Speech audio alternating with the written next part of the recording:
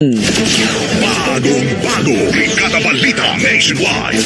Mga kabrigada, binisita ni Senator Christopher Bongo kasama ang kanyang team ang mga biktima po ng sunog sa Lupon, Davao Oriental.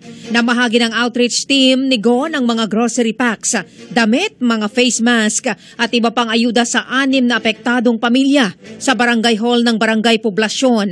Kasama rin ng grupo ang mga kinatawan mula naman sa Department of Social Welfare and Development ang nagbigay po ng hiwalay na tulong pinansyal sa mga nasunugan. Nabatid na isa sigo sa mga pangunahing nag-akda at nag-sponsor ng Republic Act No. 11589 o ang Bureau of Fire Protection Modernization Act upang matiyak ang mas mahusay na mga pagsisikap sa pag-iwas sa sunog.